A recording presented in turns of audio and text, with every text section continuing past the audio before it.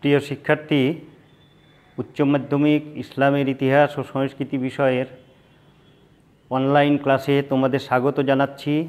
আমি মোহাম্মদ শাহজাহান কবির, সহযোগী অধ্যাপক, ইসলামের ইতিহাস ও সংস্কৃতি বিভাগ, সরকারি বেগম রোকেয়া কলেজ, রংপুর। কেমন আছো তোমরা? নিশ্চয় তোমরা ভালো আছো। স্বাস্থ্যবিধি মেনে সুস্থ আছো। তোমাদের সুস্থ তা কামনা করছি। প্রিয় শিক্ষার্থী, আজকে পাঠদানের বিষয় উচ্চ মাধ্যমিক, ইসলামের ইতিহাস ও সংস্কৃতি, দ্বিতীয় পত্র, তৃতীয় অধ্যায়, ভারতে মুঘল শাসন, মহামতি আকবর থেকে আওরঙ্গজেব পর্যন্ত। আমি আবারও বলছি, আজকের পাঠদানের বিষয় উচ্চ মাধ্যমিক, ইসলামের ইতিহাস ও সংস্কৃতি, দ্বিতীয় পত্র, তৃতীয় অধ্যায় ভারতে মুঘল শাসন, মহামতি আকবর থেকে আওরঙ্গজেব পর্যন্ত। প্রিয় শিক্ষার্থী, এর আগের ক্লাসে আমরা তৃতীয় অধ্যায়ের শিখন ফল আলোচনা করেছি। জহিরুদ্দিন মোহাম্মদ বাবুর সম্রাট হুমায়ুন এবং আফগান শাসক শের শাহের রাজত্বকালের সংক্ষিপ্ত আলোচনা করেছি। আজকে মুঘল আমলের বাকি অংশটুকু আলোচনা করব। আজকের আলোচনার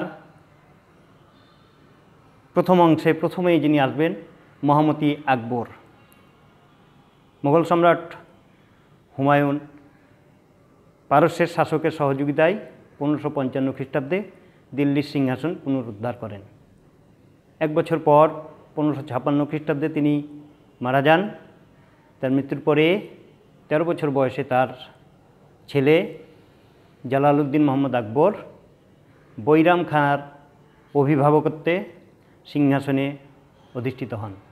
পনেরোশো ছাপান্ন থেকে ষোলোশো পাঁচ খ্রিস্টাব্দ পর্যন্ত প্রায় ঊনপঞ্চাশ বছর তিনি ক্ষমতায় ছিলেন। এর দীর্ঘ সময় ঘটনাবহুল এক রাজত্বকাল, তার রাজত্বকাল, ঘটনাবহুল রাজ ঘটনাবহুল তার রাজত্বকালের উল্লেখযোগ্য দি ঘটনাগুলো হচ্ছে পানিপথের দ্বিতীয় যুদ্ধ। পনেরোশো ছাপ্পান্ন খ্রিস্টাব্দে মহামতি আকবর প্রথম যে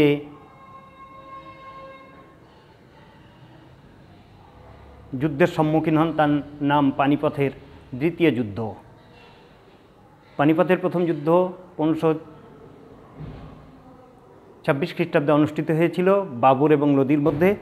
এই যুদ্ধ সংগঠিত হয় মহামতি আকবর ও বৈরাম খাঁর সঙ্গে আদিল শাসুর ও তার প্রধান উজির ও সেনাপতি হিমুর মধ্যে। এই যুদ্ধে হিমু পরাজিত হন এবং ভারতে মুঘল শাসন বিপদমুক্ত হয়। এরপরে আমরা বাবরের রাজ্য জয় সম্পর্কে আলোচনা করব। বাবর সরি, আকবরের রাজ্য জয় সম্পর্কে আলোচনা করব। মহামতি আকবর যখন ক্ষমতায় আসেন, তখন দিল্লি, আগ্রা এবং পাঞ্জাবের মধ্যে মোগল সাম্রাজ্য সীমিত ছিল।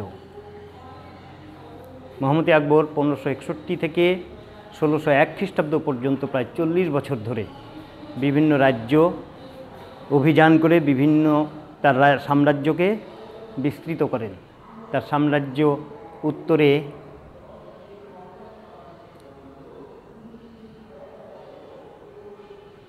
হিমালয় থেকে দক্ষিণে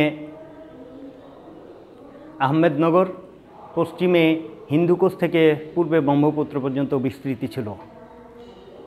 তার এই উল্লেখযোগ্য রাজ্য জয়ের মধ্যে পনেরোশো ছিয়াত্তর খ্রিস্টাব্দে রাজমহলের যুদ্ধ অন্যতম।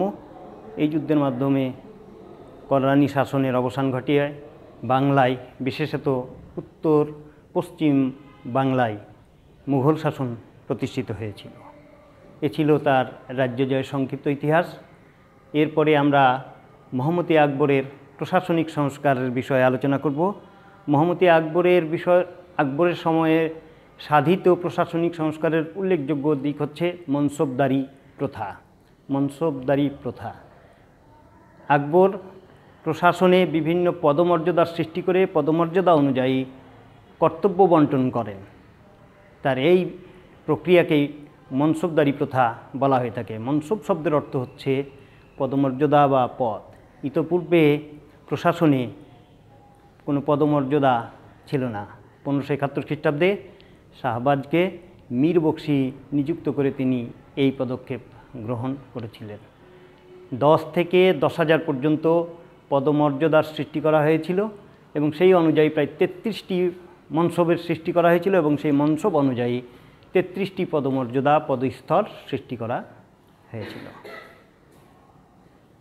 আকবরের আমলের উল্লেখযোগ্য আরেকটি সংস্কার হচ্ছে ধর্মীয় সংস্কার। তিনি দিন ইলাহি নামক একটি ধর্মমত প্রবর্তন করেছিলেন। এর উদ্দেশ্য ছিল ভারতে অবস্থিত সকল ধর্মের লোকদের নিয়ে একটি সহ অবস্থান তৈরি করা।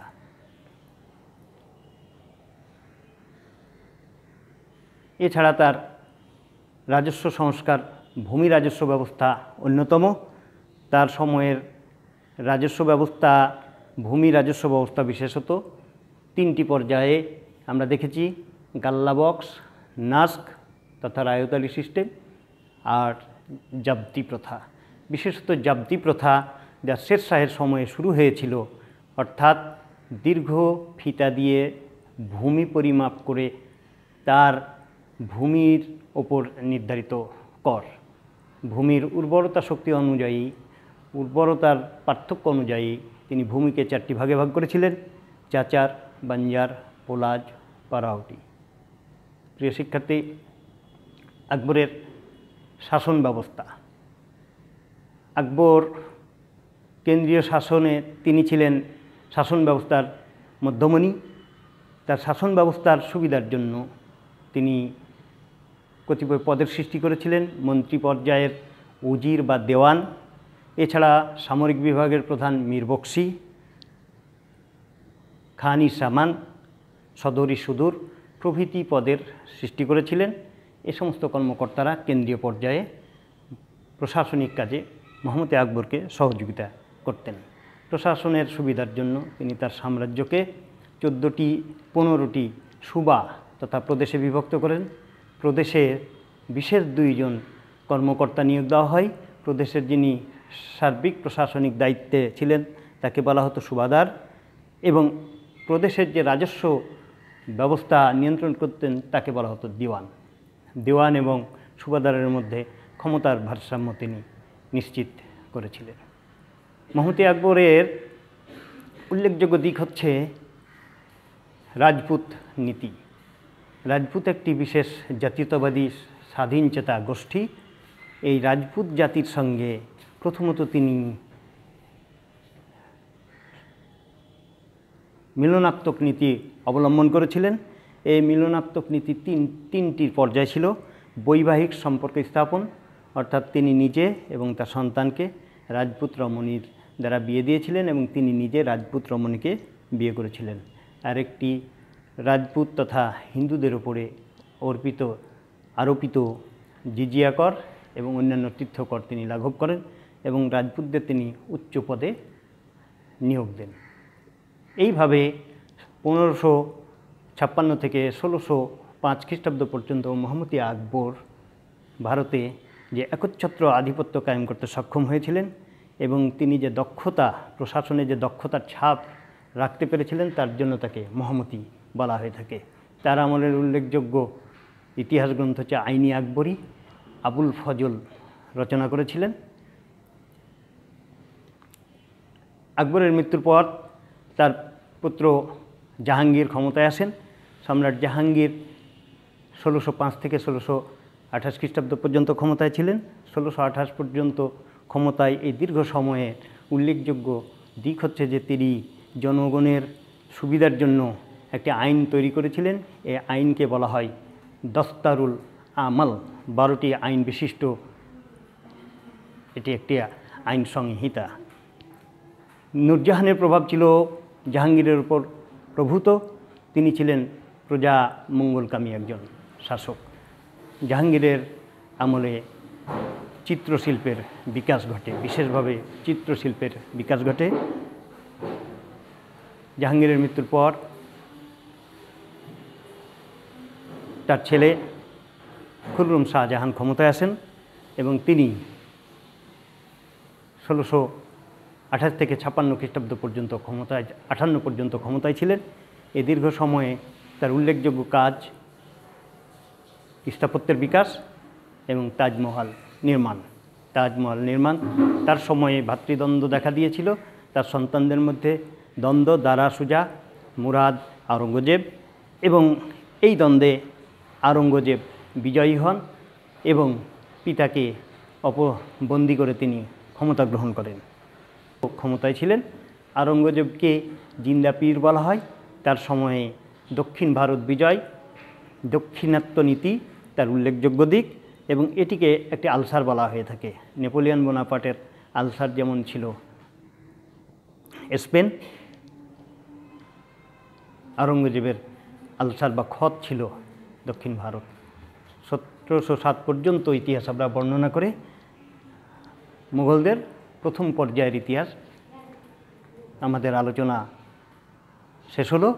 পরবর্তী ক্লাসে আমরা পরবর্তী বিষয়গুলো আলোচনা করব। প্রিয় শিক্ষার্থী, আজ এ পর্যন্তই। তোমরা ভালো থাকো। তোমাদের শুভকামনা করছি।